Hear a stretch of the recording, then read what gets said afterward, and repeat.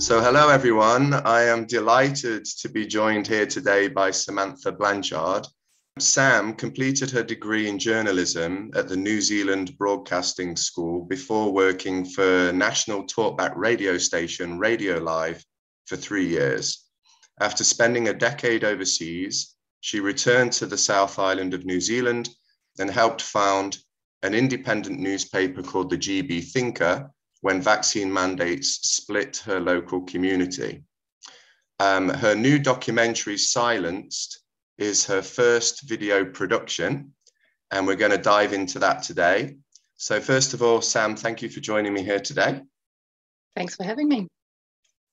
And so I'm excited that we've we've arranged this interview because you've just had your premiere of this amazing new documentary, Silenced. But before we jump into that, um, my first question for everyone, I think it's a nice, inspiring question for people to hear, you know, your answer to, is a little bit of background, whatever you'd like to share. And then when was that awakening moment for you? When did you realize that things are not the way that we thought they were?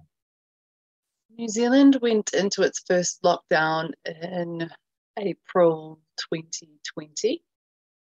And um, in the beginning, I was such a supporter of Jacinda Ardern. I thought it was so, I felt so safe. I felt really looked after um, because none of us knew what was going on. And it was crazy and it felt strange and everyone was scared and, and it felt like things were really under control and being controlled. And, and that felt really comforting at the time.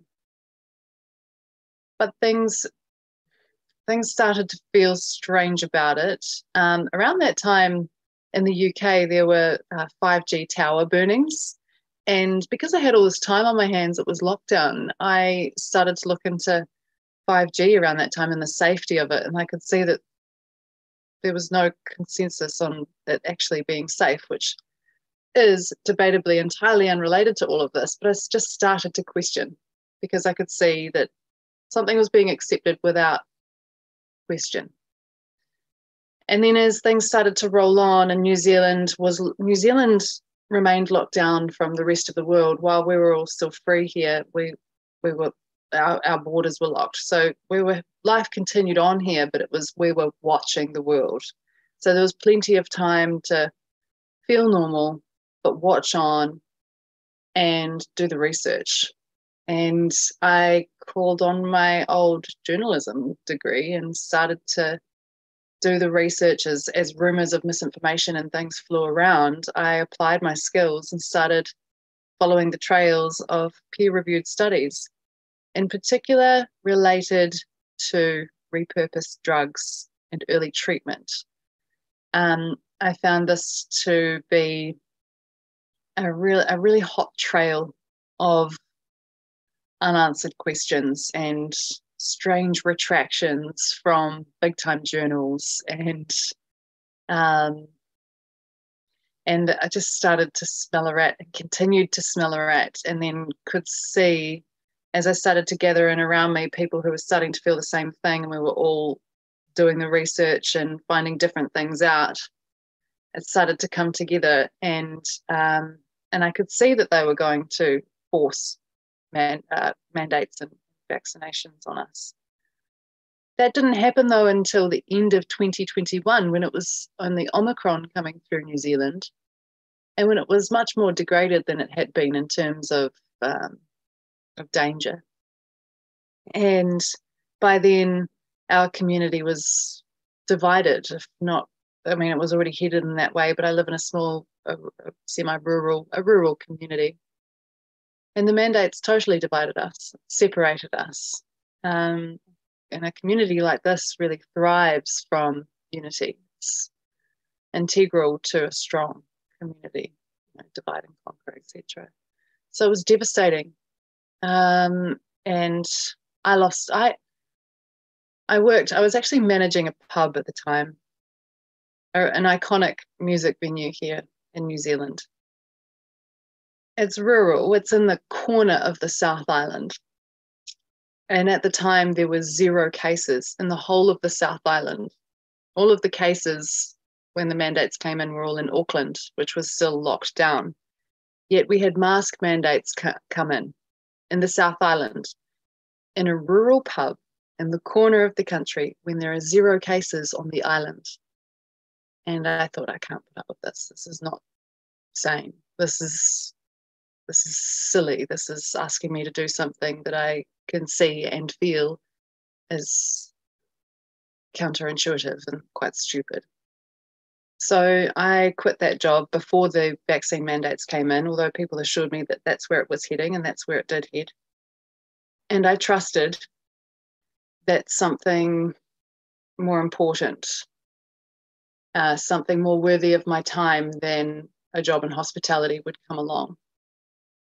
And there was a little bit of journey between that and starting the documentary, but that started to feed through after I started this newspaper, which had a distribution of a thousand in print um, little four page newspapers that went around the place that I live and just started to bring some balance to the media, um, including interviews and peer reviewed studies, etc., etc.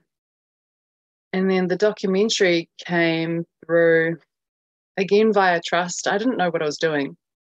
I've never made one before, but I knew I wanted to, and I knew it was kind of it felt chan- it, felt, it felt channeled. I knew that I had to make one. It was almost like a conversation. Like, is that what I'm doing? God, okay, all right, making a documentary. Didn't even know what it, is, what it was about, but there was a lot of synchronicity along the way, and I just trusted. And then I got this interview with the, you could say, the lead um, figure at the beginning of Silenced. His name's Peter Williams. He's very familiar to New Zealanders because he's been on our screens, screens and mainstream media for a long time.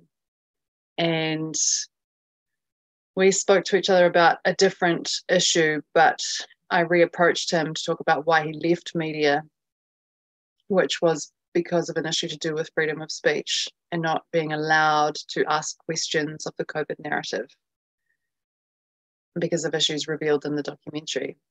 I made this proposal to him. Two days later, he phoned me back and he said, Sam, I'm not very enthusiastic about your proposition. I was like, uh, how do I how do I make you interested? And he said, but I'm in I'm in the region.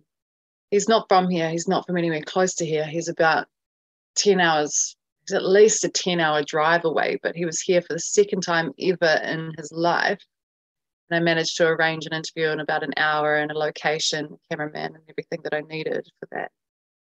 And we did the interview, and it's it's the keystone, it's the draw card for New Zealanders because he's familiar and credible.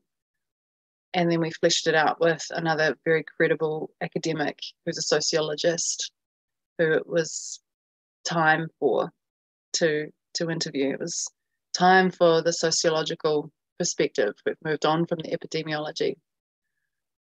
And then the GP as well to cover these different realms where censorship has been experienced in our society and all over the world. So sorry, I enlarged on your your uh, question here and kind of took a, a, whole overview from from the beginning to the end. But um, that is what that is. no, it's wonderful. So um, so I'm just trying to get the names up. Yeah, so Peter Williams then is you know a well-known radio talk show host in uh, in New Zealand. Um, what what what was the reason why he said I'm not you know I'm not really sure about this in the beginning, and then what changed? Right, um, he wasn't sure about it because it was it's dicey, you know. To speak out is it's freaky. It's like um, and he didn't want to be the center of it. He'd retired, he'd left the public eye, and I think he was ready to sink into his retirement. He didn't, he just wanted to relax. He's got a beautiful home, Central Otago. He just wanted to retire. He's ready for it. He's pushing 70 now. And to speak out on this front, and he names names as well. Um, you know, he's he's he's playing with fire um, but I feel like now, and, and one of the, to answer the second part of your question, something that eased it for him was that I assured him that he wouldn't be the center of the piece, that we would even it out with um, other people with just as much of a story to tell. Um, perhaps they're not as as you know their their their public familiarity maybe isn't as um, you know maybe they're not as recognizable. But i think the way that the documentary is made certainly. He's he is the draw card peter williams. People know him. But once you're into it and you've seen his story told you've been introduced already to our other key figures who have just as much heat to bring to the conversation. Um, fantastic. They're incredible women, the other two as well. And did you, uh, putting you on the spot now, but did uh, has he seen it? Did he give you a response on what he thought about the final product? I just texted him just before um, I came onto this, just to check in with him. I know that he's really busy. Um, he's seen half of it. I just needed to check that the material that we were using of him a few weeks ago was was that he was happy with, um, and he's certainly happy with with what we've done with him. And I haven't touched base with him since he's seen the final product. He now, I'm happy to say, is back on the air on a fresh new independent radio station here in New Zealand called Real- Reality Check Radio and it's brilliant. They've got four fantastic, uh, well, they've got several more actually, but four key hosts, including Peter, who's returned, and um, and they're digging into the, the counter narrative stuff, not just COVID and vaccines, but also climate change and um, and kind of attacking woke media. They're digging into all sorts of things, and it's uh, you know health in general and and how it's kind of been flipped over the years in terms of what me what health means and you know they're not afraid. They're unafraid. Their, their skin is thick from the last two or three years and they're going for it and it's so cool. So it's great to see him back on air and that just that only launched two or three weeks before the launch of this documentary so i think they partner each other quite well yeah, and it's exciting also, I think, with the reality check radio that it's, I mean, you know, I'm, I'm focused on the solutions, and that is the solution. This is the type of radio station that we need out there. Yeah. Just, just as your documentary is the type of conversation that should be out there. Mm. Um, so there's so many questions I can ask about the documentary, but the, the central theme for me of this documentary was the censorship, the censorship of the conversation what was the you know for you who who is the audience? What is the intention? What do you, what do you, what is the the message that you're trying to convey in this documentary? The audience that we are aiming for is absolutely okay um i'll go back to the intention first. The intention actually is to heal to so many relationships have been hurt over the last two or three years. And in my view, they've been hurt by a disparity of information. And I think a lot of New Zealanders, a lot of the world feel as though mainstream media is the only thing that they can trust and everything else is out the gate and untrustworthy. But what this documentary seeks to be, and what I've been very careful in terms of my presentation with it is that it's credible and it is in the format that New Zealanders would be familiar with, bar the beauty of the nature, um, which just adds to some softness. It's presented in the very in the mainstream media way. It feels like you're watching. I don't know if you guys have 60 Minutes over there or 2020, these old current affairs programs that unfortunately we don't have here in New Zealand anymore, which is another story. Um, but it's presented in a very mainstream way and it's bulletproof. It had to be bulletproof in terms of facts. It is factual. It's mostly it's it's logical. It's mostly logical. And I say it's mostly logical because there is um, the emotional factor which um, is drawn from from some of the way that we use nature, I think, um, and pause for people to to reflect on what we've been through.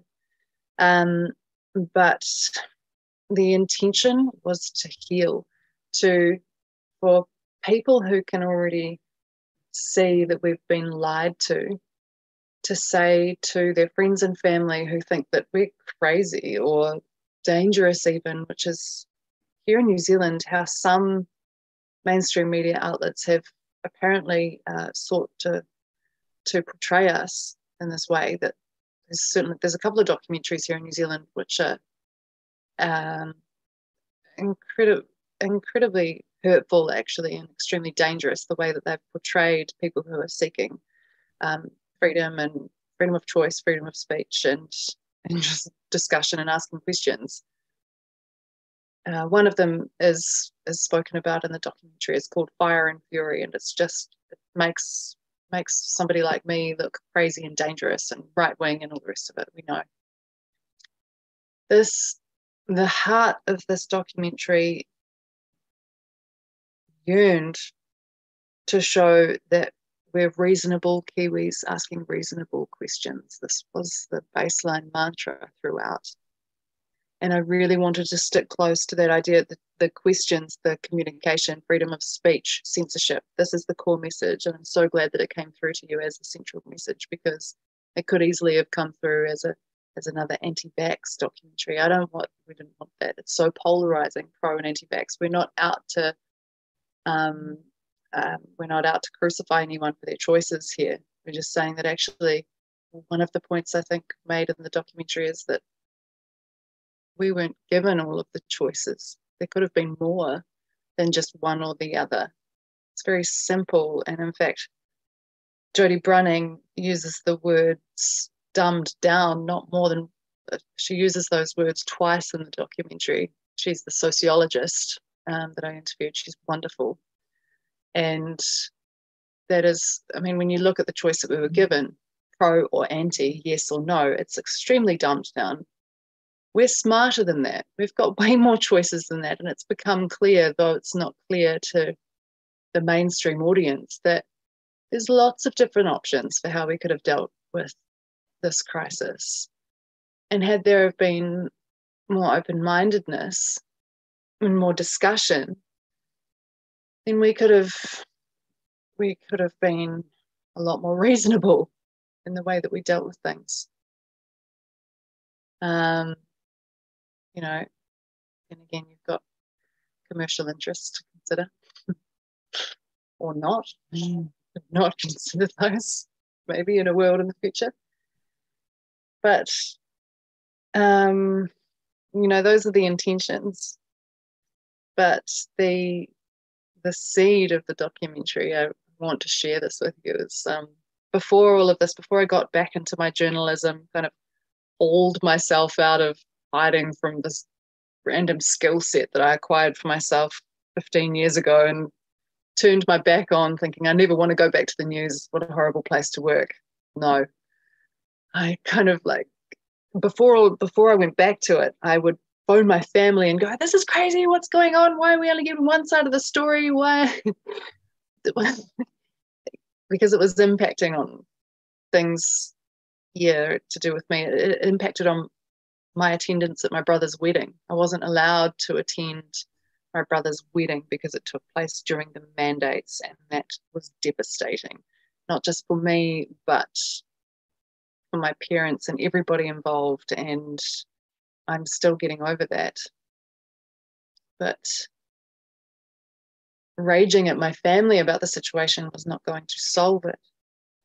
And my mother said to me, on one of those conversations. She raged back at me. She said, Why don't you go and do something about it then? And I was pretty stumped, really. I said in my little speech at the premiere last night, her words hung from the conversation like my old journo degree on the wall. And I realized Gandhi had reincarnated as a frustrated English woman, steering me in the direction of being the change that I wished to see in the world. And I thought, oh, okay, pick up that pen, do something.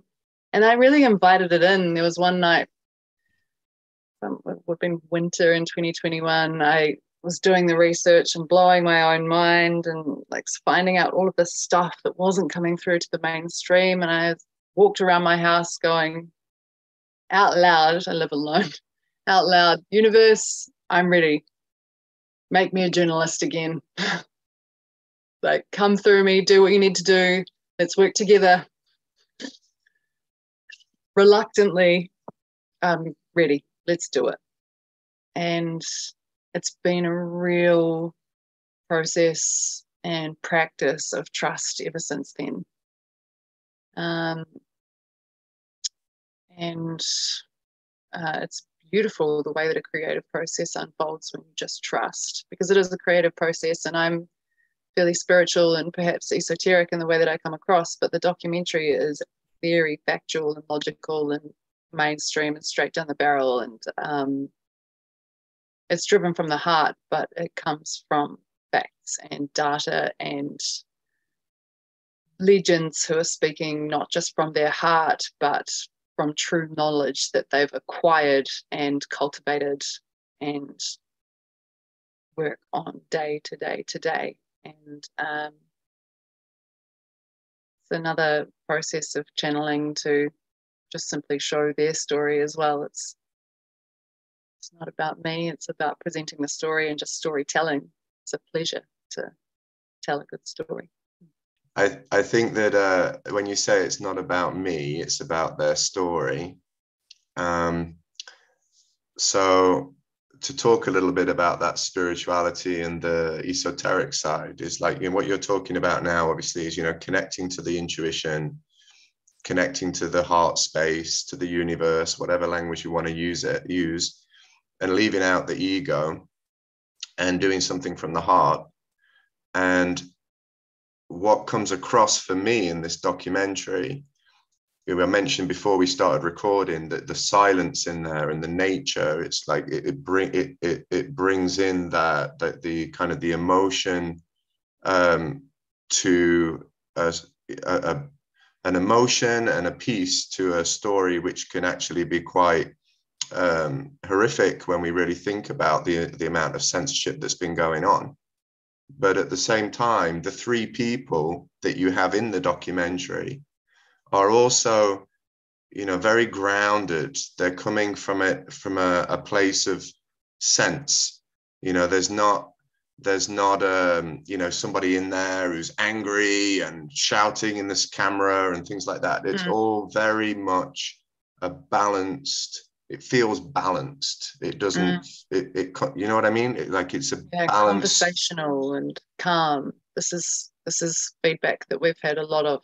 The, the calm nature of it, measured, is something that a lot of people have come back with, and calm and measured, but still alarming, or calm and measured, but still concerning.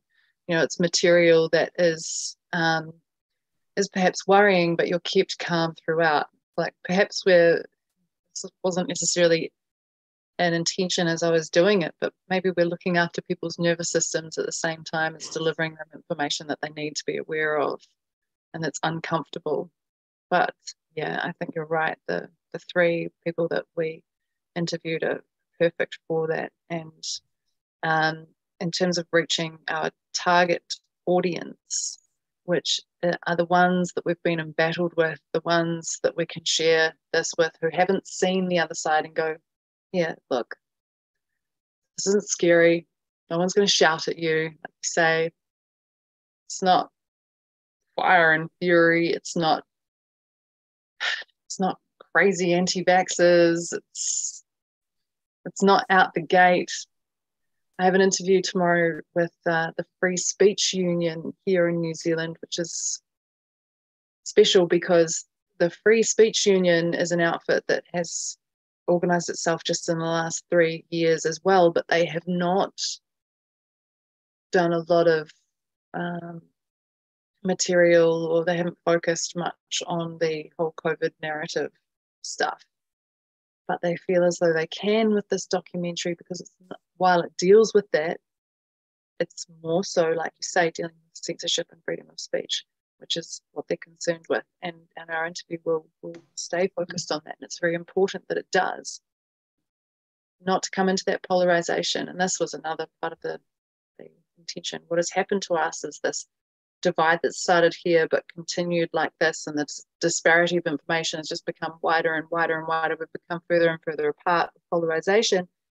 And this documentary seeks to bring it back to what unites us freedom of speech. It has to, it has to be where we unite this bedrock of our democracy. We must uphold that. Look back in history, all the great philosophers have been have something to say about freedom of speech. There's no one that says just follow along with what you're being told. There's no one that says go the way of authority without questioning it. It's not a thing. We that that's a must. And if we highlight that to everyone, then I, I think that we can find unity again. It's about this documentary seeks to heal.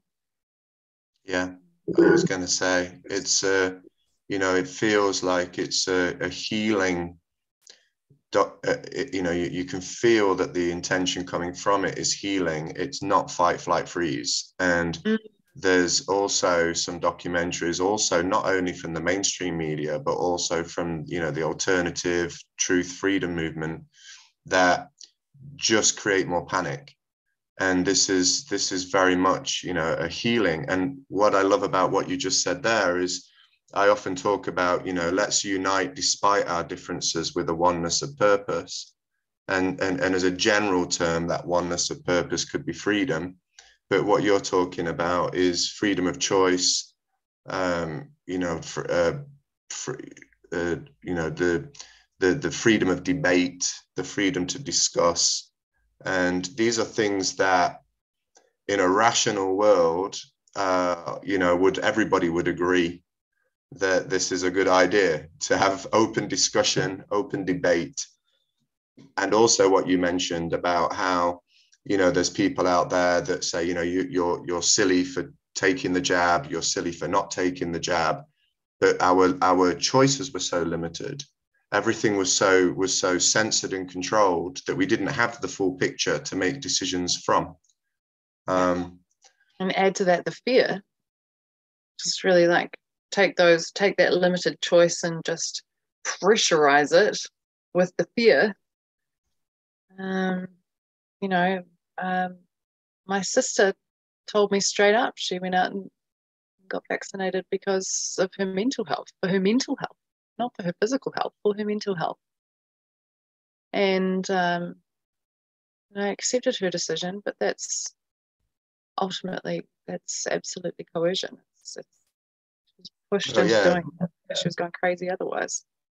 Yeah, many feeling, people just to get keep their job as well, you know so many reasons that were not their own true heart driven reasons.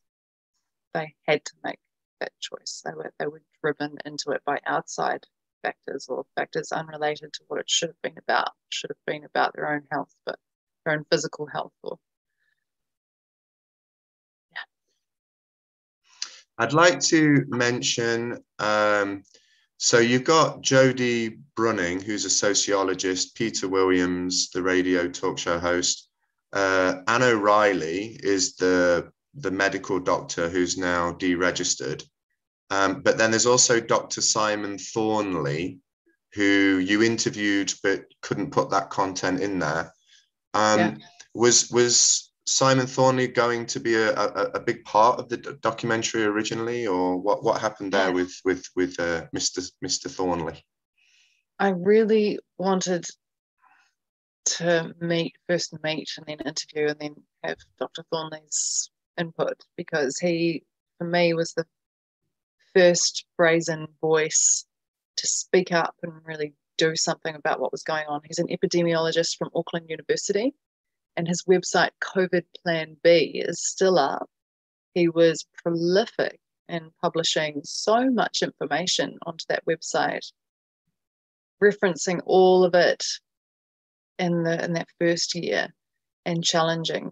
And he wasn't totally censored. He was given some, he was given a little bit of a mouthpiece. Um, but then he was um, slated by more populist experts and, and closely um, closely associated with a disinformation agenda. unfortunately, at the end of 2021, he hastily published a paper which had to be retracted. And that marked the end of him speaking out because of issues with his employment, which I won't go on any more about, but you can probably put two and two together. We did an interview with him, even though he was silenced, and it was under the terms that it would be embargoed until he was allowed to speak. And then that moment would never come. His lawyers advised him not to not to speak out at all.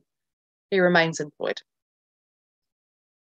Um, and the fact that we can't have an epidemiologist um, who had a different view on things safely speak about his position, even in hindsight at this point, should be deeply concerning for people, particularly as when you look back on his published findings on COVID on COVID Plan B, um, you will find that they were all referenced, as I mentioned, and it's an incredible body of work. It's like it's huge, and he just he works so hard, and you know it's all based on truth. It's an incredible, it's an incredible body of work. That for the 20 for 2020 2021, the discussion in in those uh, pages of COVID Plan B is far reaching, deep, broad. And, um, you know, this is, yeah, and, and he was brave. And he was so brave. And he's genuine. He's just a bloody good Kiwi, honestly.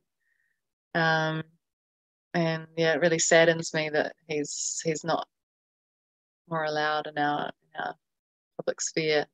But fortunately, I think we vindicate him in this documentary. And that's really cool. Um, interestingly, when I phoned Jodie Bruning, uh, the sociologist who would take because the the documentary looks at censorship in these three realms: media, medicine, and academia. And Jodie Bruning takes the role of academia or or represents the realm of academia and looking at society and norms and values and what's gone on here. And when I first approached her, she asked me well, have you gone to Simon Thornley? She was kind of scoping me out. She didn't know who I was, and she was reluctant at first to um, to be a part of the project. But also, he's the obvious one to go to because he's he's the epidemi- he was the dissenting epidemiologist in New Zealand. He's mentioned at the beginning of the real Anthony Fauci in, in the foreword and the uh, list of people that RFK Jr. is grateful for in the world for speaking out. And uh, I said to Jodie, Well, yes, I have spoken to Dr. Thornley. Interestingly, we're not allowed to use that interview. And she said, Well, that's kind of beautiful, isn't it? We can use that. And it, it's amazing how,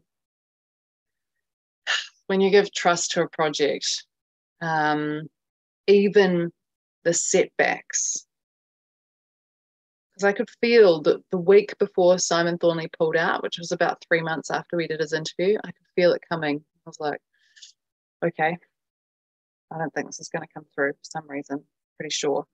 But I, it was very quick.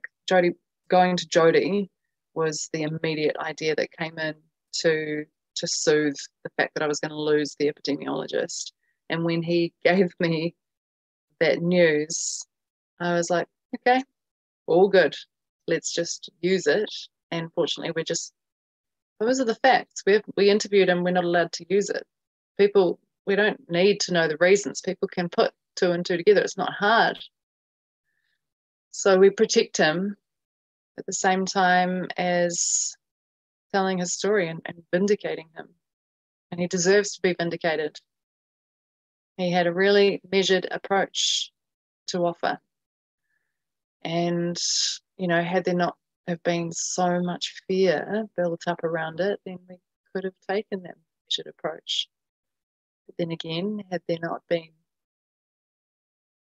so many billions of dollars riding on it, then we could have taken a more measured approach, I'm sure. these are the things that we should learn. And when you talk about vindication, should be vindicated, again, it's about the kind of the healing. And, mm-hmm. um, you know, the, the, the, the other um, kind of main person featured in the documentary is Anna O'Reilly, who also was a medical doctor and had to deregister um, because of the pressure that was put upon her. Um, so, yeah, maybe just a little bit about uh, Anna O'Reilly's role in the story, and kind of you mentioned that there's the academic, the media, and then the medical. So, um, what what did you want to get across in the documentary about the medical side? I mean, not only about COVID and stuff, but also you talk about diet, you talk about functional medicine, and you you talk about you know that that's not even considered as as important. Um, and then also, of course, she she found she co-founded the New Zealand Doctors uh, SOS, Speaking Out with Science, I think. So a little bit about that medical aspect of the documentary. Sure. So it comes back to censorship again. Doctors who had important questions where they were advocating for their patients in alignment their ethical requirements of their profession were not allowed to ask those questions or they, they were allowed to ask them but they were ignored. And then the questions themselves were suppressed so nzd sos or new zealand doctors speaking out with science was written off by media here red flagged. And um, yeah, the way that they were treated in the beginning when they were first founded was just horrific. They were made to seem in mainstream media like they were dangerous. And they were advocating for their patients. And I think Dr. O'Reilly comes across again, she's calm, she's measured. She's, you want if I was to have a personal GP, I don't even have a personal GP these days, but if I were to have one or a family doctor, she's the ideal. She's who you want. She's a lovely lady.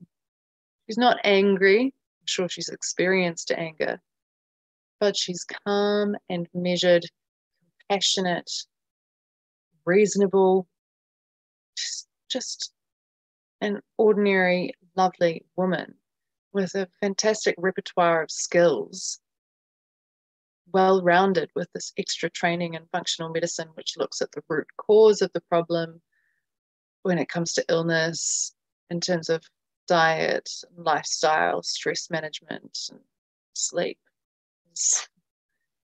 which made her question why in traditional medicine do we just throw pills at people? You know, my words, not hers um, that was when she started to question, and that was 20 years ago. So she's well prepared for this. She's been questioning traditional medicine for a long time. She's known for a long time that medical journals are, are uh, compromised. And so she was already positioned in that way. But I think I hope the way that we've conveyed that piece of information, which is very important, enlightens some people if we can get it across to those people who are not already aware of this stuff. That these issues are deeper than just this pandemic, that health itself is, has been compromised for a while now, and our traditional medical system actually is, um, is steered toward drugs and profits rather than diet and lifestyle changes in order to fix up your own machine. Like, you know, it's um, so counterintuitive. It seems like it's been entirely flipped. And uh, think perhaps we get that across in the documentary in a very short time. I hope we do. It feels like right now like we do. Sometimes I look back on the whole piece and think, do we do that? Do we do that? I'm, I still love watching it, which is weird. I've seen it probably about 50 times and I still think it's quite a fun watch. yeah, it's got a lot of juice in there. She goes through, Dr. O'Reilly goes through um, the the forms, the volunteer, voluntary undertakings that the medical council gave to our doctors, which asked them to well, they were gag orders basically and if they didn't sign these this, these agreements to basically stop sharing their views publicly and refer their patients to other doctors if they asked anything about COVID management. Um, and if they didn't sign these things, then they would be suspended. So they certainly weren't voluntary, even though that's what they were titled. And all of that was suppressed as well. The public doesn't know about that. The public doesn't know about the treatment of these doctors who are trying to advocate for informed consent. Um, yeah, that's that's without without telling you what's what's in the the piece itself. Yeah, that's that's the medical part of it's the third part of the tripod. well, I I would say that definitely all comes across, and the yeah, um, I mean the reason, like I said, you know, that I enjoyed it so much is just because it's um yeah, it's it's doing the opposite of fight, flight, freeze. It's it's really bringing people back to a grounded perspective, and you know, and this is what we need. We need just like with you know the reality check radio. This is the type of documentary we need out there as well. Something which isn't riling people up or dividing people, but actually bringing people together. Yeah. Um, I'd like to, I usually finish with a question at the end, like what would your advice be for people that are kind of struggling in these times? But you sent me a message before we did the interview that you also have some advice on how to kind of put a story together. And I was wondering if, you know, if there's people out there who, you know, they have some creativity coming out, they can feel that they want to express something creative that could help that could mm-hmm. to do something about it rather mm-hmm. than just throwing the information at people which also I, we've all done that it doesn't work but to yeah. actually create something as a kind of a positive solution um, mm-hmm. perhaps you have some advice on how to put that creativity into practice right um, the piece of advice that i wanted to share is um, the the basis of my storytelling is I, I have a, a, little bit of an idea of what I want to tell, and I'll I'll create my interview questions around that idea. Kind of just and and an interview firstly should be looked at like a chat, just like this is. It's it's it's easy and it's relaxed. It doesn't have to be this big thing where you've structured all these questions. In fact, one question to start with is often enough. That's all you need, and then you just go and see and explore. I think the basis of a good story, if you want to do some journalism, if you have someone that you want to interview and want to create a story from what they have to tell, if you record it and you transcribe it, there are apps that can do that for you. Okay, Simon says it's called. But if you if you do that, go through and pick the best quotes and let them let the best quotes of the interview be the basis for your story. You don't have to know how you're going to write this crazy story. Don't be daunted by the mountain, but allow your talent, your interviewee, to come through with the magic, have the conversation, have a relaxed chat. Don't worry about what's coming through, just have a good yarn, and then rely on what comes through. Have an ear out for any good quotes and take a note. You might even want a time code, but that will take your attention away from the chat. Wait until after when you've transcribed, go through and find the best quotes, take them out and put the best quotes on a couple of pages. They're the basis for your story. Go from there and build the story around the best quotes because those best quotes, they're your truth bombs. They are they'll tell the story for you. You can rely on that. All you have to do around that is kind of um, you know, uh, flesh it out. They're the skeleton. You've got the structure, or the, you've got the, um, the you've got the meat actually, and from there you you build around that. It's the best piece of advice I think. It's the it's it's what makes it's what made silence. What's it's what makes all of my stories for the GB Thinker. It's your when you interview somebody else, you become objective.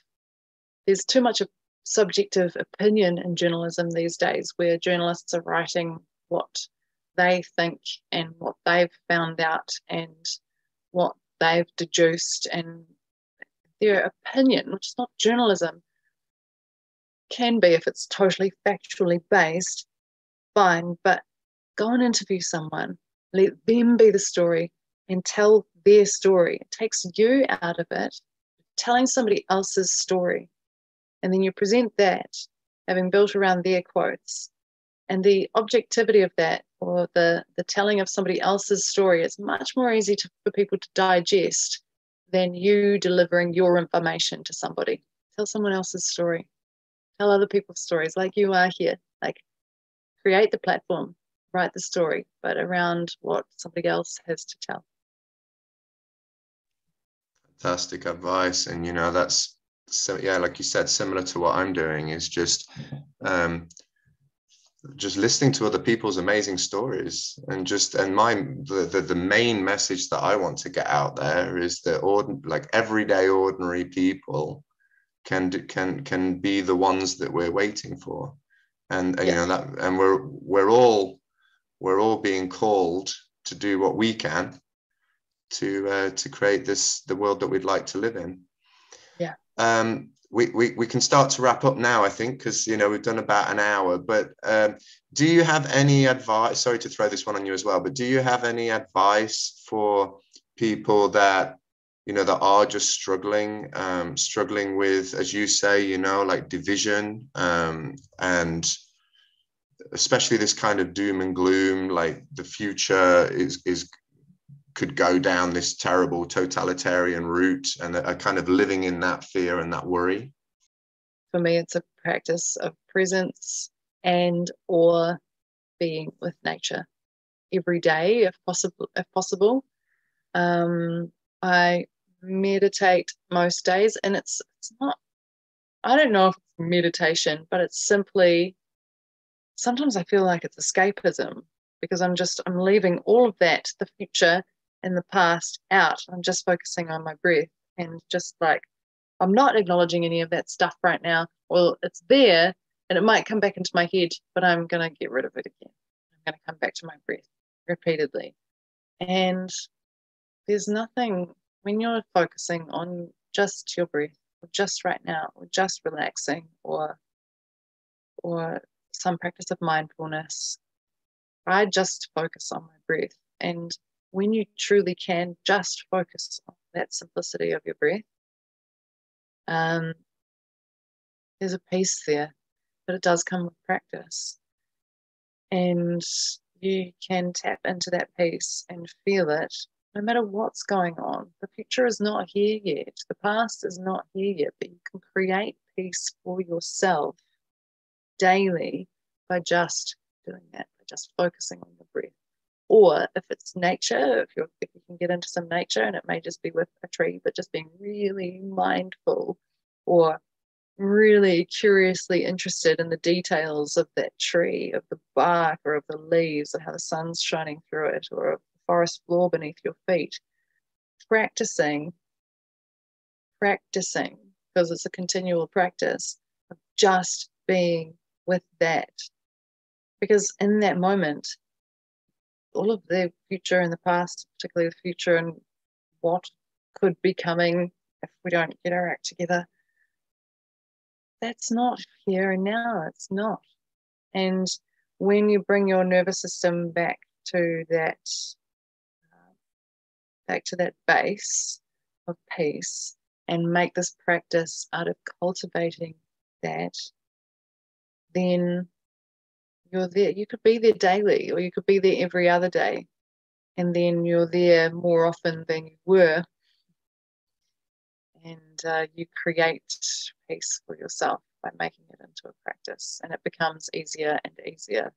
And you settle down more and more. And uh, this time of crisis the last few years has driven me toward that more and more. I had a bit of a practice in place prior to now but um, this has made me realize how powerful that is. Wonderful. I would also add that when you when you can uh, increase the amount of time that you're in the present, that that's also when you get that the channeling you were talking about. Yeah. You know, the the the You connection. recharge. Yes. Yeah, you become clearer. Yeah, it's so powerful in so many ways. And it's only to be discovered by you yourself in practice. And it takes time. You have to be patient. But it happens. Sam, uh, just to finish, uh, links, websites, where can people find the documentary? Where can people find the GB Thinker and um, any other sites, links you'd like to share? Yeah, um, silenced.co.nz. That's silenced with a D on the end, silenced.co.nz. Also on Vimeo or it's embedded into the website and uh, Rumble. Um, the GB Thinker is on Facebook, um, facebook.com forward slash the GB Thinker or maybe GB Thinker. Um, and yeah, I think that's all from me. That's my stuff that's online anyway. Would you like to share what's coming next, or are you at this moment um, just kind of reveling in the final product and then finally silence right. is out there? Yeah, silence is out there. We we have some sort of marketing and things that we need to do now, and and keeping on top of the internet takeoff, which is pretty exciting. But we need to drive it. But um, otherwise, I'm having a break for a week. and I've taken a week off from my other job, and I'm just going to rest because we need to look after number one before we look after the rest of the world. And I've been working really hard on this, and just need to stop for a bit. and then um, yeah, I don't know what's next. Uh, I, I'd like to make more documentaries. I think I've got the strength in storytelling, and though I'm reluctant to do so, actually, um, I think I need to follow the journalism thing. And maybe, maybe just the next one I make is is solutions focused. Um, this one while calm and measured, like you say, it's it's highlights it highlights uh, it brings light to the darkness, uh, which needs to happen. It's important, but I just want to bring more light to the lightness. Maybe next project.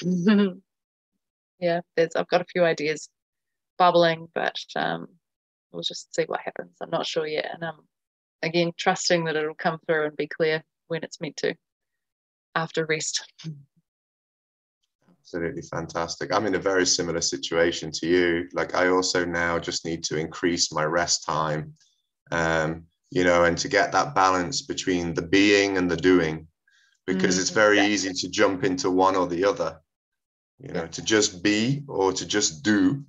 And Yeah. then of course the difficult one is how do you, you know, to, to get that really nice balance between the two.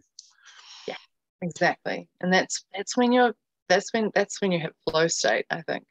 That's, uh, i think you need it, that balance to happen to hit flow state anyway and to just be yeah it just means like when you need to rest rest. When you need to work work. When the idea comes through activate it. It's so nice when that happens Well, I'm super excited to find out whatever does come next. And uh, I really genuinely uh, loved the documentary. I think it's just got a wonderful energy to it and a powerful message. And thank you so much for doing this interview with me today. Uh, thanks for having me i've really enjoyed it legend and thank you for all the work that you've put into it's fantastic it's been really good and light Well, thank you. And solutions focused, like you uh, exactly you're saying as well. You know. important Great. Yeah. Well, and also we've been sharing all along. We've been sharing the GB Thinker and the the uh, the different episodes, the different um episodes. No, different issues or issues. Yeah. That's the one. Yeah. yeah. yeah. All right, Sam. Thank you so so much for talking with me today. Legend. Thank you so much, Robito. Have a lovely day.